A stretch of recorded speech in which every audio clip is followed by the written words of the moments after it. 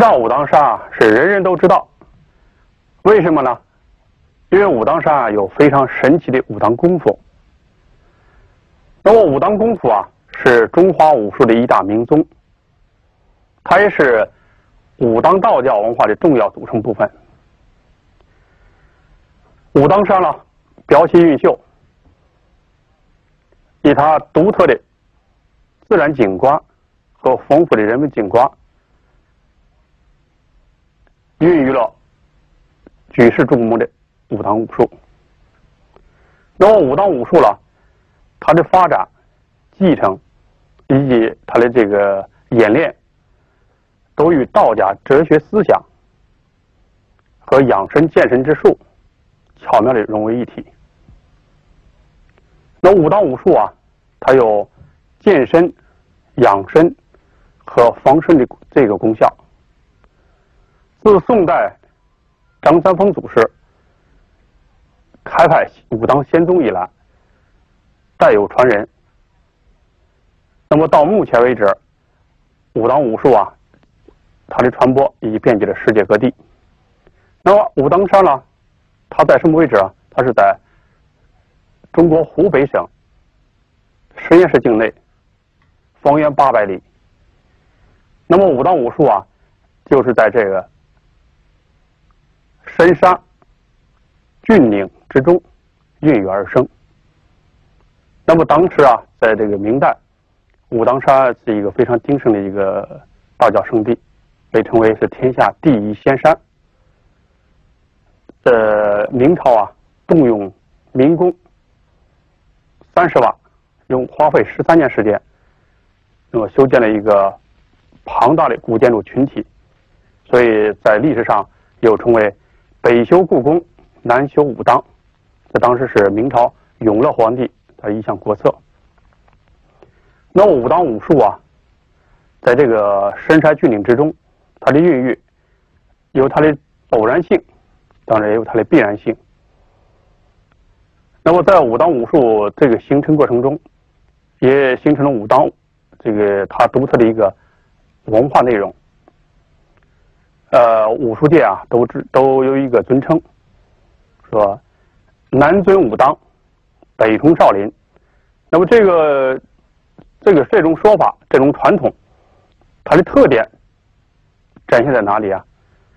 有以下几个特点。武当拳啊，它遵循自然，以人体的这个科学和医学啊经络为它的主体，讲究自然、顺遂、流畅，然后也称为内家拳派。少林呢是刚猛、舒展、大方，被称为外家拳。那么这个内家也好，外家也罢。它是中华武术啊，不不一个不同的表现方式。那么最高境界也会殊途同归。说我们现在看这个中华武术，看到武当功夫，我想在文化上，在武术特点上，应该要有所认识，才能更好的去继承和发扬它。那么我们作为武当山内家拳派祖庭的传人，对武当武术有什么样的特别的认识了？我想有几个特点：一是武当拳派啊，是把这个武术啊作为一种修炼、养生之道来加以继承。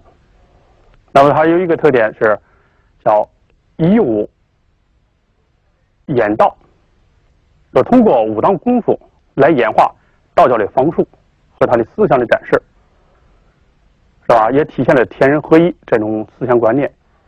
和这个修真养性的这种科学体系，使人身体啊更为健康，是吧？更能够体现他这个哲学艺术的这一个独特的神韵一面。其二呢，是一道来演武。那么前边的是以武显道，这是如何来显化道法？那么后者呢，是一道来演化武术功夫。所以我们中中国啊。现在对武当武术的认识虽然很普遍，但真正看到武当功夫的人可能是很少。这与武当派啊历代的传统有关系。说武当派功夫啊，非常的神秘，也非常保守。这这是个历史的这个传统的问题。那么到二十一世纪了，我想武当武术啊，以及它的文化体系，这个逐步被世人所认识。这个中国最古老太极拳法，大家都尊为武当是它的发源地。那么也有一个说法，叫做“天下太极出武当，武当太极甲天下”。那么而今呢，世界各地学习太极拳的人也非常多，几乎遍及了世界各地。这也说明武当武术啊，在二十一世纪焕发出它特有的神韵和它的特有的魅力，造福将造福于整个社会。那我作为武当武术的传人和他和我们门下弟子们，都应为此啊做出积极的这个努力，来去传播、去弘扬中华民族优秀的这文化遗产，来继承这种优优秀的功夫，使武当武当武术和武当文化走向世界。啊，让世界啊，这个来了解中国的传统功夫，了解武当武术，这是我们最大的一个心愿。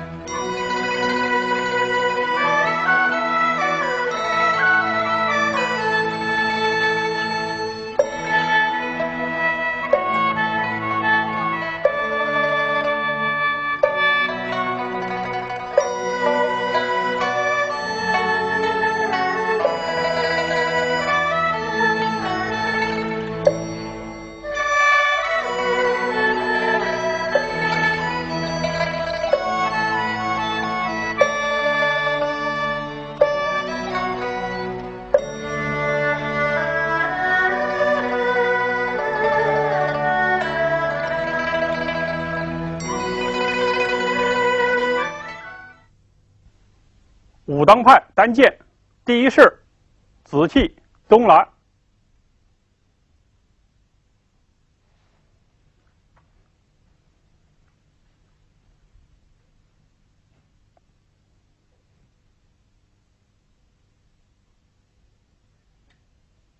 下面我讲解一下武当派单剑的这个起势动作。提起武当剑啊，是人人皆知。这个它影响力啊，从古到今呢，有很大的影响力量。因为武当剑啊，它也是武当山功夫的一个象征。那么在起势当中啊，在整个武当道派，它都有一个统一起势，它是紫气东来。代表是道的意思，代表是老子的哲学思想在武当派的具体运用。啊，这也记下了张三丰祖师啊创下的要义。他是剑指下插，指地，然后逐步向前画弧。臂啊伸直，伸直之后啊开始往回收，收回来，放于胸前，然后向才平平缓推出，剑指向上。那这个这些这个起势动作了，它有一个寓意，就是说你作为武当派的弟子。作为武当功夫，作为传统文化的这个研究，第一个必须要有诚心，是吧？对历代祖师要有诚心。那么第二点呢，还必须要有恒心，你要想练这种功夫，想继承下来，必须要有一个很好的心态，有恒心。第三点呢，还必须要有信心，因为功夫啊是一门技术，也是一门学问，需要你不断的去研究揣摩。所以起势动作啊，要求这个三心要具备：诚心、恒心和信心。那么注意，这个两脚它是略打开一个口，后脚脚跟并拢，身体做完之后啊，要略微倾略微侧面倾身，两目平视，头向上顶，立身身体要站直，要站正直。不要前倾，也不要左右摇摇晃。第二是仙人指路，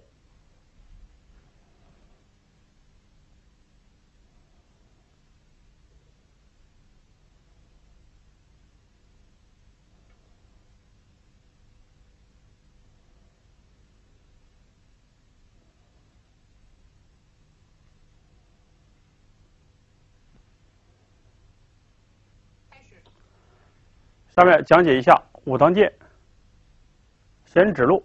动作要领：接前式，手慢慢收回，要要求气沉丹田，神清气爽，要求神态要非常安然。然后脚步啊，开始左脚向左侧开步，两手剑和和和这个剑指同时运动。那么这个运动呢，必须要有一个像画太极一样，有一个画太极的过程。最后要走出。那么这个剑身呢，最好是画一个弧，剑指啊从前往走出。那么这个过程啊，就是一个呃在定型上是一个叫仙人指路这么一个定型动作。注意脚步啊是弓步，后腿伸直，剑指放平。前面这个这个剑呢，要有一个画画弧，内侧画弧，从左向右。那我右手啊，剑指从耳耳耳部向前点出，形成仙人指路之势。下一式，仙鹤展翅。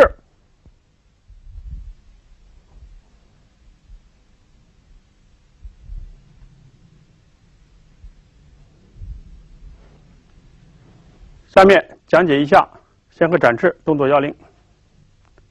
那这个动作啊是一个接剑动作，两个手啊交接，两手交接了，首先是左手这个左手剑和右手有一个交接过程。那我看做完之后啊，走上步，那个上步啊，首先是右脚向向左侧进步，左脚再向前迈步。接剑，接剑之后，两个手分开，右手啊持握剑持剑，向右侧展展开，展开，嗯，下一式，蛟龙入海。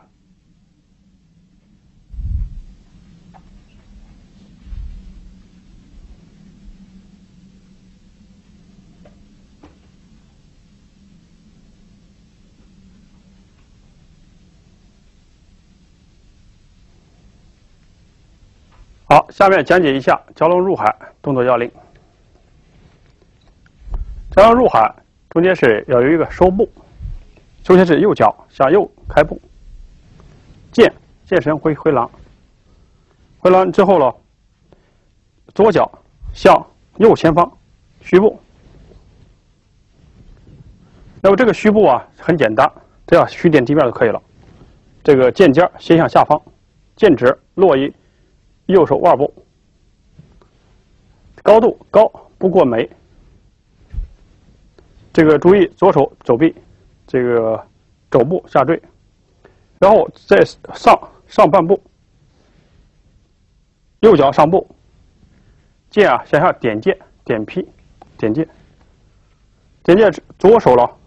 剑指由右侧向左侧画弧，这样架于头顶，然后左腿抬起，形成独立之势，形成独立之势。注意腕部，腕部略微上翘，略微上翘，完成蛟龙出海的动作。那这些动作了，实际上还是一个剑啊拨开这个点击的动作。我们可以把它这个用法简单说一下。好，比如说啊，对方开始刺刺刺我的下部，下部了，我从这儿挂开它，挂开，然后啊进步，点击，点击对方头部或者是肩部或者是腕部，点击，先顺后走。当然，这种这个步法和剑法的运用必须要连贯，连贯再走，注意动作的这个规范性和它的。健身剑与身法中间的连贯性，走。下一式白猿坐动。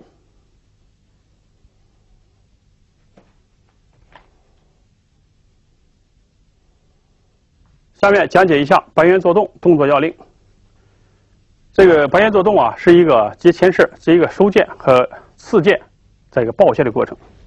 我们可以看到啊，它首先是收剑、刺剑。最后收剑收是要还回报，那么这个刺啊要先向下方收，收完以后是虚步，那么先是左脚然后撤撤半步，右脚跟回，抱抱于这个胸前，那么这抱于胸前，剑指压于右腕，剑身呢放平，剑身放平，动作要保持要工整。所以这个剑啊，一个是往前刺，刺进了必须要舒展，健身以后啊舒展，最后回身抱剑。呃，动作要求这个要求啊并不是很高，主要是要流畅，左剑、刺剑和抱剑要流畅。中间注意步行的变化，先是弓步，弓步后腿一定要蹬直，眼睛向前看剑，后手啊略高于略高于头部。剑指不要太低，略高于头部，刺剑。回回身呢，这个虚部要相对要低，重心放低，重心放低。抱剑啊，抱剑腕上要转圈往上转个圈出来，走回来，啊，这个转圈不要向后拉，也不要太太前，在胸口前方。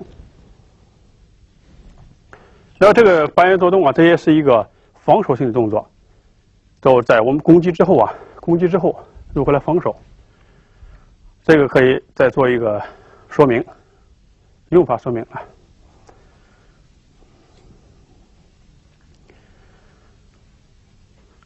这个在用法当中呢，也许你在进攻，进攻别人呢，别人可能会挂，挂住以后啊，别人同时在攻击，攻击，攻击的话，我们回啊用洗剑，洗剑的方法回回领带回。那么这个作为下意识啊，攻击做好准备，所以它是一个防守性动作，进回。那包括前前面这个连过过渡动作，过渡动作，过渡动作了，实际上一个也是一个抹剑、洗剑、拦剑这么一个过程。怎么拦住它？怎么洗开？怎么洗开？然后我也回身刺剑，刺刺剑，是吧？这个都可以慢慢看，慢慢走，走洗洗。然后这样上步，刺，然后它中间回身带，那么这个可以左右两个人可以同时训练，可以虚步虚步收虚步，还可以收回，可以收回。那么这是一个简单的在用法上的一些说明。下一式，清扫尘缘。讲解一下清扫尘缘动作要领。清扫尘缘是一个后插步，这个倒插步。那倒插步了，主要是在步伐上倒插。然后这剑啊是一个反撩，类似于像扫东西一样，把很多灰灰尘呢扫掉它。那么是这个在武当剑的用意啊，都是去除杂念，正心正身，然后走这个剑法，保持清静和安详状态。那我咱们注意看一看到，从前面了，它一个一个小一个小剑花，然后右脚向后撤步，左脚再向后插插步。那么这个剑啊，从从右侧向后方向右后方扫出，拉开。剑指啊，从胸前向上架，架于头顶上方。那么这个剑法也是一个反手啊，总结防守啊，或者是攻击，它以防守为主，这么一个反反手为基的一个剑法。啊，从前面可以看反手为基，但这个反手为基啊，也是利用身法和步法的作用，中间啊做一些调节。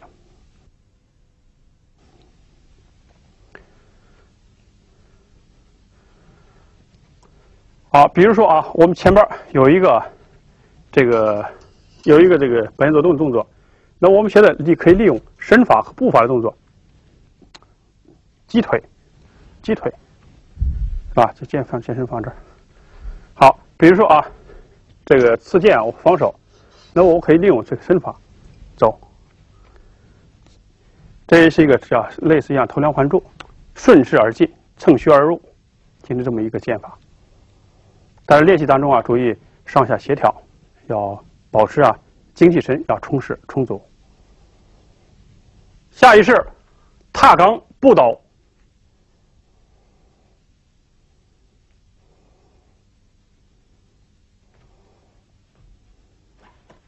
讲解一下踏钢步斗动作要领。接前面一式，实际上它这个后边啊，是一个这个类似于这个龙形步。龙形步，龙形步啊，一个是拦剑、拦剑、挂剑，这么一个一组动作。然后这组动作呢，主要是利用身法、步法增加连贯性，身法、步法的作用，跟走，然后回身。那么这个回身呢，到最后一个上架剑，撩完之后啊，上架，上架，然后有一个反撩，反撩剑。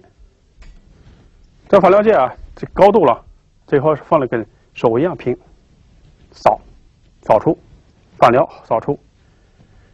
上面手左手这个剑指架于头顶上方，那么这个左脚了，随着随着剑法的这个扫、掌和这个剑指挂，要顺势抬起，向后勾挂，向后勾挂，勾挂角度了。大家可以看到，这个膝盖两个膝盖像并并住，膝抬腿抬抬起，保持身法的平稳。这个身法要平稳，必须要平稳。那这个动作要一气呵成，一气呵成走走下来。这个动作啊有有一定难度，这个难度啊中间是步法和剑法中间必须要这个协调。那么今天平平时要经常练练步法，怎么走剑，这个步法要跟上走，这个很重要。所以经常练习，这个熟能生巧。所以这样可以掌握一下这个运动规律。下一式运转乾坤，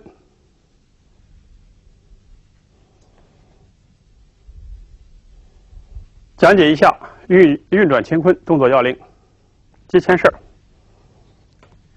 先是呢，左这个左脚向后，这个手上有个剑小剑花，小剑花，这个一个拳剑，然后右脚向后撤步，中间架剑，架剑呢，这个形成一个横裆步，横裆步啊，这右腿伸直，这个前腿膝盖向前先向前方，剑啊高度与头与头平，与头平，剑指左手剑指放于腕部，保持平稳，头向后摆，向左后摆，眼睛向左后平视。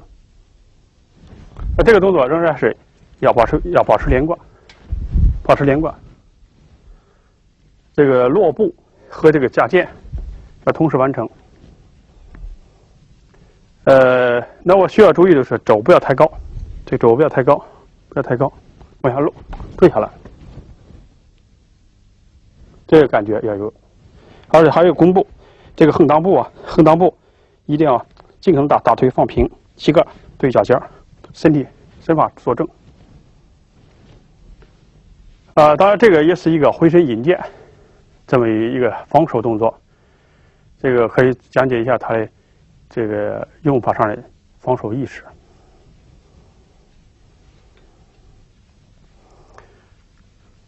好，如果是说对方啊用这用这个拦剑或者是斩剑的这个模式从侧面过来，那我们现在能接住下来，我们会先接剑，再引剑往回引，引回，这样加强了他这个防守动作。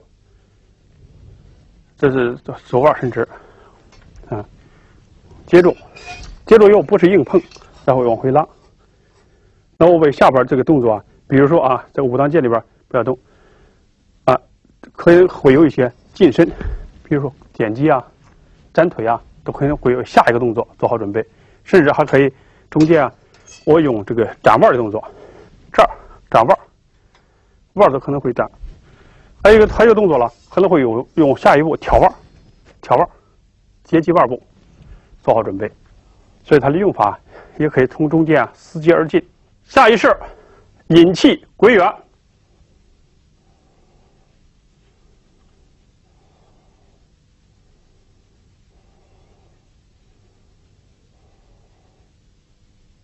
讲解一下引气归元动作要领。这组剑法主要体现上步撩剑。左右撩剑，加后后边齐齐。那我可以看到啊，从上步撩，再上步再撩，那么是是形成这么一组一组动作。然后最后到抱剑。那么这一组剑法呢，中重点突出来这个大幅度的走步和和撩剑，然后利用身法的这个角度来变化剑法的这个运用。那么这个可以把这个讲一下用法，先做一遍。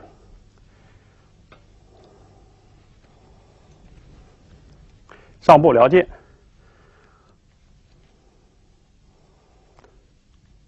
那么这个撩剑最后是一个是个拦剑。好，咱们再看看它的这个用法。用法，咱们前面啊，咱们可以看到前面架剑。那我们现在利用步法上的变化，撩，从下往上撩，这是这个点击。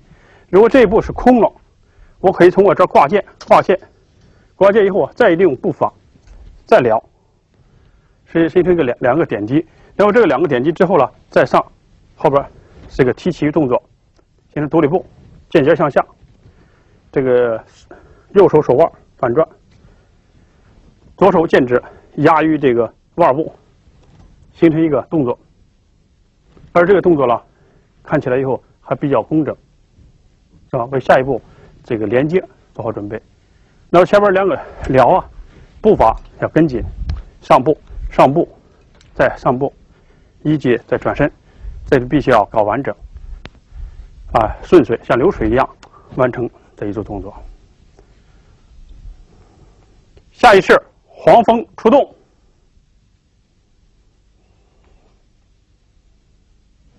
讲解一下黄蜂出动动作要领。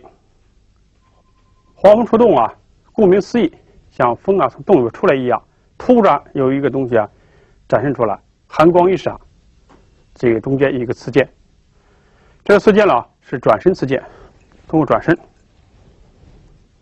转身呢主要是通过这这个右腿向后撤步，要撤步撤到后边，然后剑啊随身撞，随身撞向前平平行刺出，对身体啊展剑，注意后边剑指略高于头部，刺，然后弓步还要做大做平，这个气势啊流畅，气势也流畅，气势，后手落高，眼睛目视前方，完成这个黄蜂出洞动作。当然，黄蜂出洞啊，我们先做一个简单的说明，它的用法说明。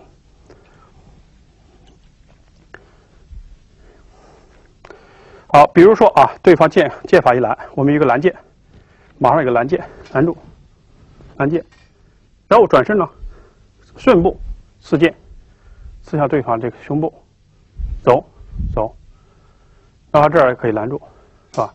再拦，哎，正好刺胸，它可以拦剑。那么这一组动作就是起拦进步刺剑。然后我们练习当中呢，是一个反身，一个刺剑动作，当然也可以从正身走。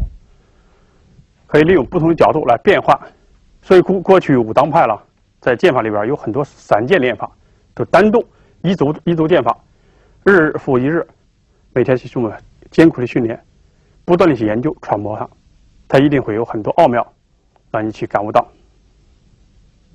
下一式游龙戏水，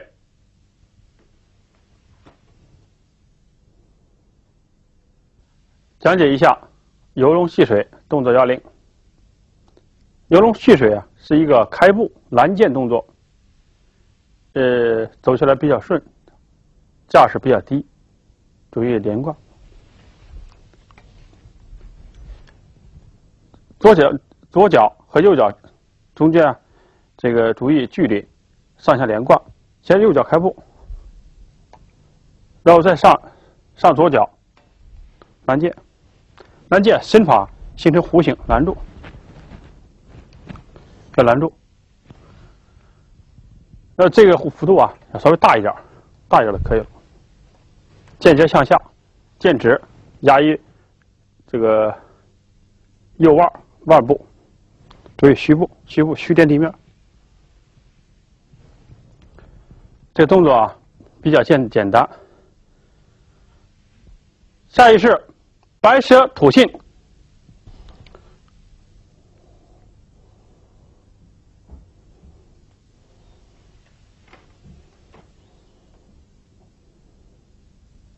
讲解一下白蛇吐信动作要领。接上式，中间有一个弧形步，弧形步先左左脚向左后方开步，剑。同时转身，剑从从侧面向前刺出，形成吐信动作。然后这个动作啊，保保持收缩连贯，收缩连贯，再开步，上左脚点成虚步。那么这个动作啊，要连贯，刺收，两者啊结合起来。注意眼神向剑尖斜下方看出。呃，这个剑法比较简单，简单的这个顺伸展开，再拦过了，是吧？一吞一吐，掌握一个吞吐这之法。这个注意放松两两肩，不要紧张，接下身低沉就可以了。下一式锁心圆。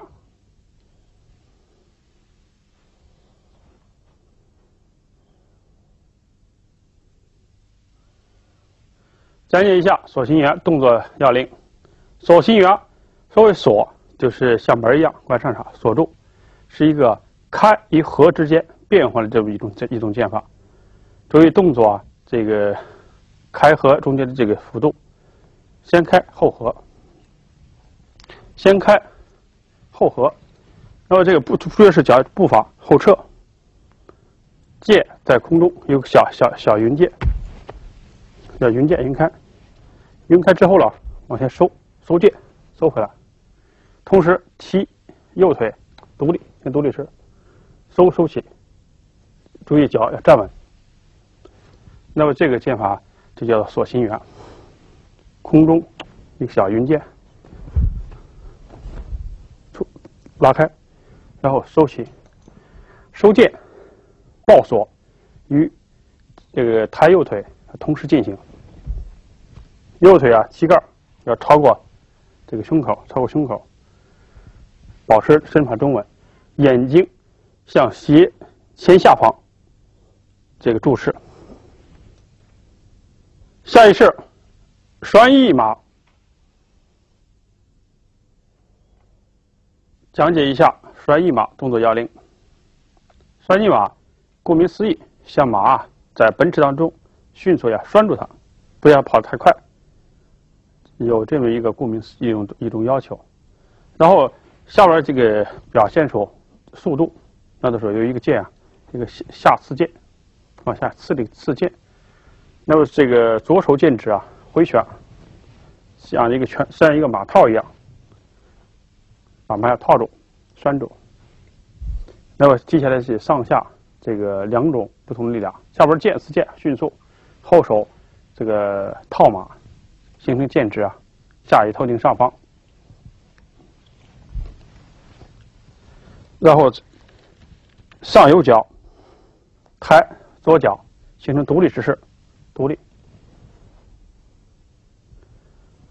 上手立刻尽可能伸直，这个抬腿独立步啊，这个放于左侧，不可以往前走，放于左侧，身体啊稍微略带倾斜。剑剑面、剑尖斜向右下方，动作力求连贯。下一式回光返照，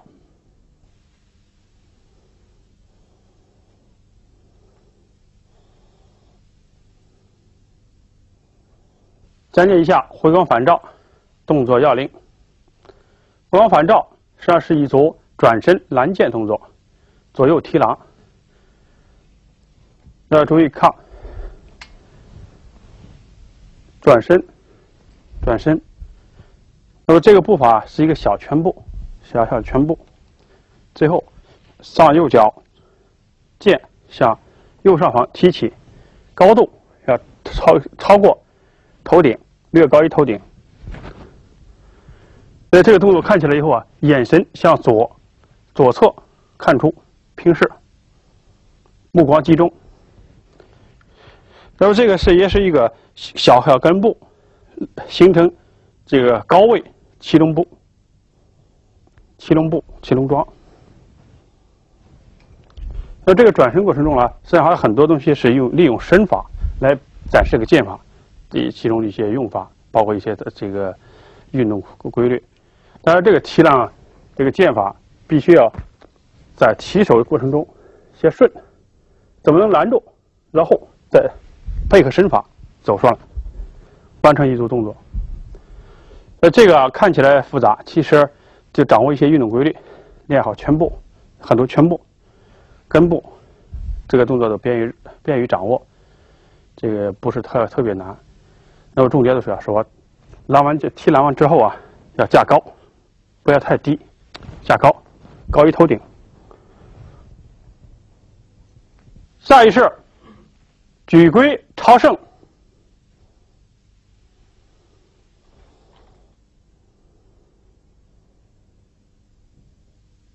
讲解一下举龟超胜动作要求。举龟超胜呢，实际上是一个这个左右这个挂件上挂。那么挂挂件啊，有这个有反挂。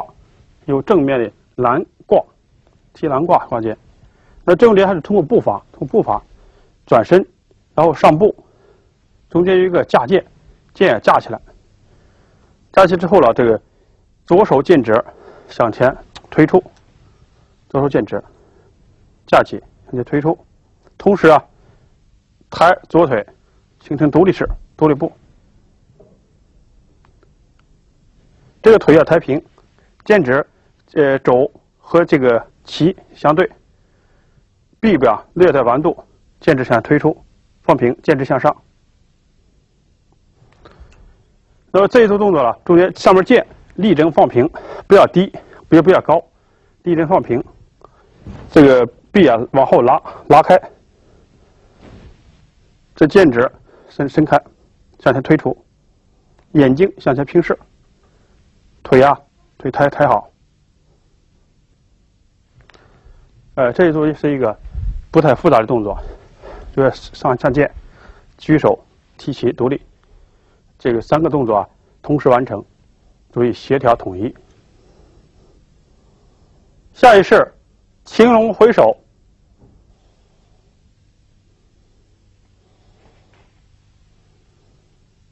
讲解一下青龙回首剑法要领。接上式。接上式，右脚向前落步，形成弓步，同时这个剑剑尖向下、向后反插、反插、反插，插之后呢，转手往前刺剑，腕转转正向向前刺剑，后手剑指在腰部向后直出，要求要行大弓步。弓步前前腿要公平。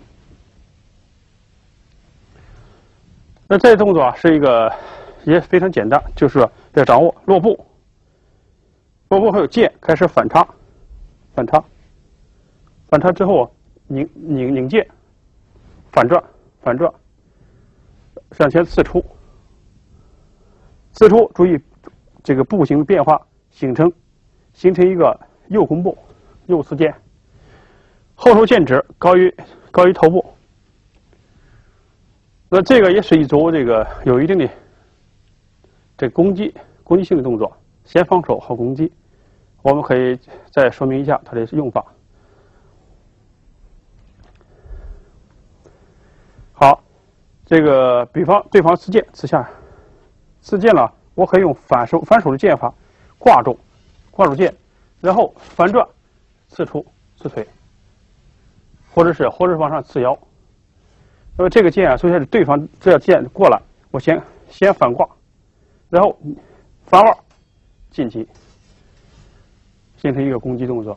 实际上这是个回身呐，防守反击的这么一种剑法。呃，注意练习当中，注意腕部和肩部要放松松开。长期啊，经常走这个反反手啊穿剑的动作，那么这个反穿啊和这个。拧过、拧转、刺剑，要经常单手或者空手去练习，多练，它自然会也更顺顺遂。初期啊，会有一些不不自在，不自在可以利用身法倾斜，利用身法的倾斜，然后反反插，再拧转、刺出。那这样练习了，就分成几步，这个单体训练一定会提高的很快。下一式，凤凰点头。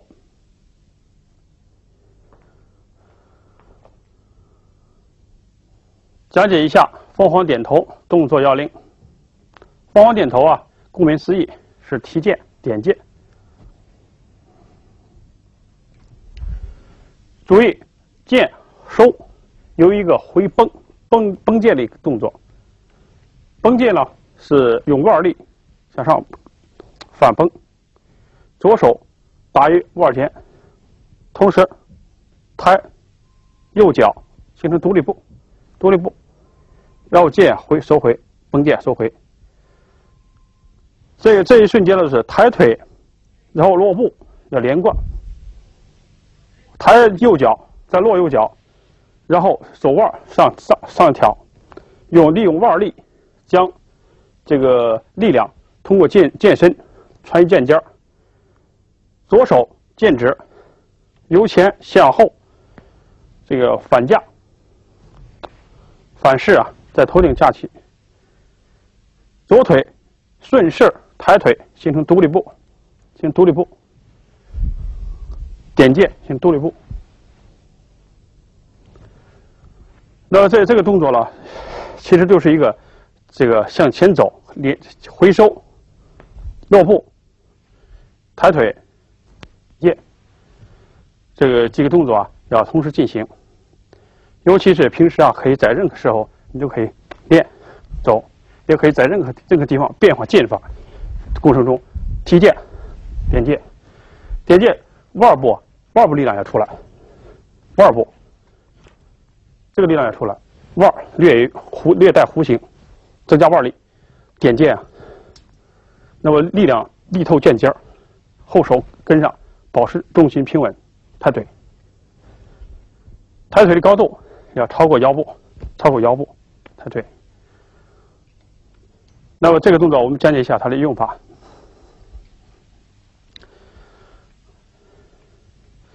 好，像我上三路是自然，那我下边上边是空虚了，我只有一个办法，在在别人攻击的瞬间，我只能侧身，不能往前走，侧身，身体往后撤，用剑啊反崩，反崩剑，崩剑抬腿，然后我借着这个崩剑的这一瞬间，这一瞬间，然后向前点出，点头，点对方头，走上来。或者是减腕，或者是点腕儿，点腕儿，在这个腕腕部走下去。所以它的用法有也有很多种用法，就是你看如何来掌握它的角度、高低和大小。下一式金蛇缠柳，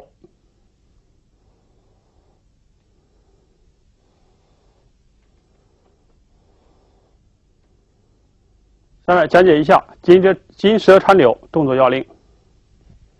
金蛇缠柳啊，它里边有几个圈圈剑，圈剑是剑尖啊向向从右向左向下转动，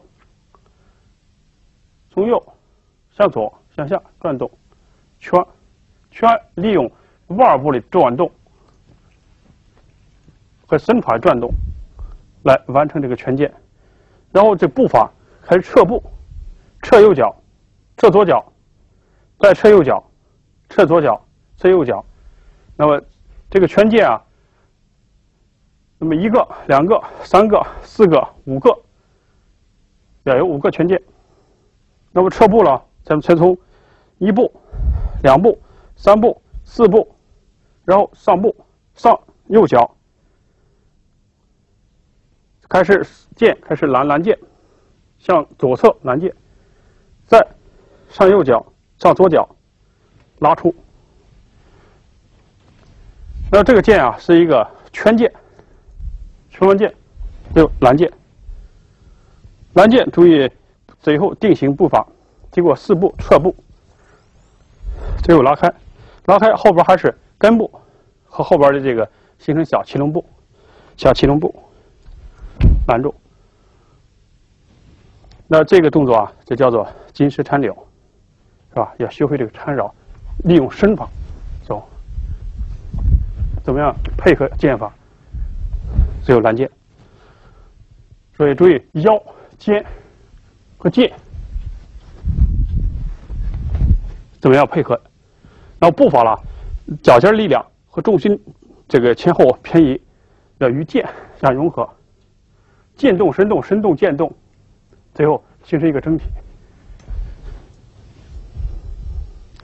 注意动作啊，幅度前后幅度像流水一样前后贯穿。那这个动作也可以讲解一下它的基本的这个要求和适适用价值。好，对方刺剑，我可以圈，再刺收收剑，刺剑收剑刺剑，再刺剑，我还是圈，走中间，然后突然一转身。形成一个拦截接腕接腕或者接腿。我们在圈剑过程中呢，在转转身侧步，然后形成一个接起腿部。所以这个是在用法上啊，可以根据这个情况、高低情况和快慢速度来掌握，何时来收，何时来放，何时来攻击，然后提狼，做好这个防守动作。下一式，叶底藏花。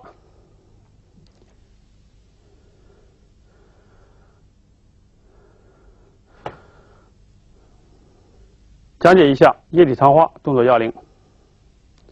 叶底藏花和它的名字一样，是一个暗藏玄机的那么一个转身剑法。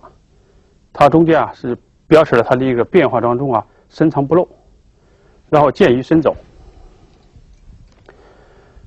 那我从接前一式我们可以这个左脚一个小回滑，扣脚转身。同时，这个右脚啊，拳步。这个在武当拳武当拳派里面，不管是武当拳力训练，还是武武当单剑，以他九成剑法，都是由这个小拳步很多，以腰以这个一个脚啊为轴心来旋转，剑法了，在空中，在空中云剑，云剑出来，这云剑啊和随着身法的转动，藏于肘膝肘部，左手剑指放于左肩前。这个剑放于左手的肘部肘下，两腿啊扣拢，两两腿啊像形成夹马桩，夹马桩像骑马一样把马夹住，夹马桩，身体略微倾斜，略微向右右侧倾斜，眼睛看剑尖前方，形成液体强化之势。当然，液体强化这个也有它一些特别的用法。怎么样通过转身来攻击？我也可以做个简单的解说明。好，对方啊开始开始刺刺剑，头部刺剑。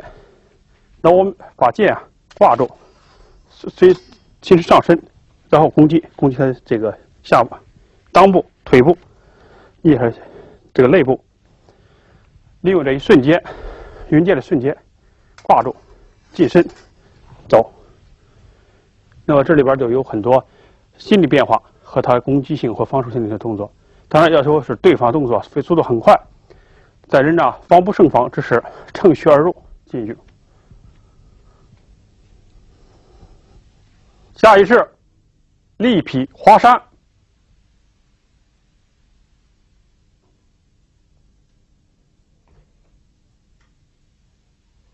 讲解一下力劈华山动作要领。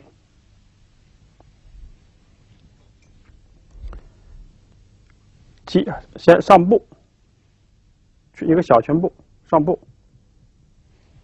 再进步。进步啊，要立这个，在进步同时要提前提提提起，把左腿啊提起，提起然后准备劈。然后这个劈剑呢，重点是在拳步过程中和踢腿。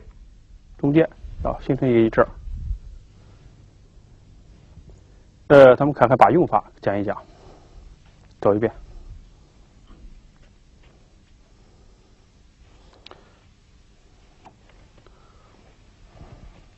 好，先注意这一个一个拦箭，是吧？首先，一个拦箭，一个拦箭拦住，拦住之后了，上步。再劈，或者是从内侧内侧按键单键再劈劈下，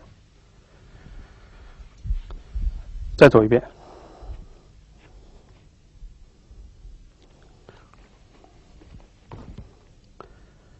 好，那么这个这个剑法落地一个要快，拦步时候脚脚步要小，再再来。这个上步啊要。脚步要很小，要很小一个步，要很小，然后上步啊，迈步要大，上步要快，上步要快，小步劈，这个手左手剑指向后展展出，要迅速，剑出剑要迅速，依次定位，后手高于头部。前边旗旗盖落平，这是一个变化比较快速的动作，要求先拉，再上劈剑，要像有个劈山的，像劈山一样劈下去。所以力求啊，用整个臂力和腰力带动，臂力腰力带动劈剑，要劈剑啊要放平。